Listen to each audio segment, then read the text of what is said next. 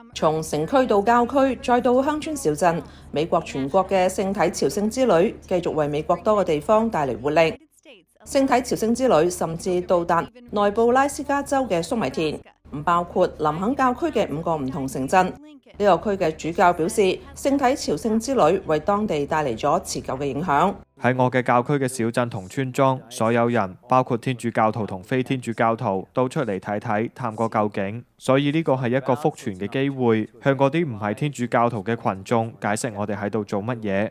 淨係喺科羅拉多州就有超過五千人聚集喺丹佛市中心參與聖體出遊，呢個係呢個市幾十年嚟規模最大嘅遊行之一。喺俄亥俄州，聖體出遊喺一艘舊式嘅蒸汽船上進行，佢途經斯托本維爾教區嘅俄亥俄州河流，行駛三十英里，到達幾個團體聚集嘅地點。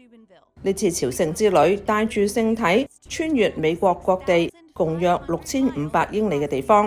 然而，隨住印第安納波利斯附近四條路線將會喺七月十七號到二十一號举行全国圣体大会，圣体朝圣之旅亦都随之结束。